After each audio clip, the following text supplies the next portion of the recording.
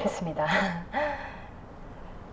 아, 그분을 그냥 영웅이라고 부르지 않죠, 우리가. 성웅이라고 부르지 않습니까? 다 아시죠? 적군인 일본에서도 그분을 위대한 장군이라고 존경했던 사람이 많았다는 기록이 남아 있습니다. 그분은 한 번도 패전을 하지 않으셨어요. 그래서 일본 측에서는 이수신 장군과는 아예 대결을 피해라 이런 지시가 내려졌었어요. 그거 다 아시죠?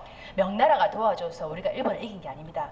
그 당시에 우리가 바닷길을 완벽하게 장악하지 못했더라면은 절대로 이길 수가 없는 전쟁이었어요.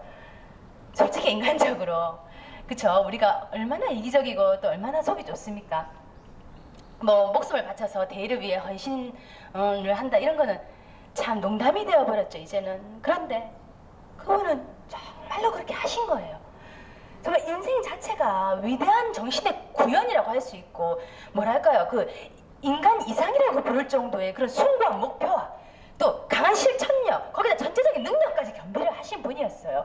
정말 신이 우리 민족에게 내린 축복이라고 할 수 있습니다. 그런 분한테 예 그쵸? 지금 어, 말씀하신 분은 뭐 몇 마디 말로 폄하하거나 뭐 의심하거나 그럴 수 있겠지만은 예 지금 그렇게 하셨으니까요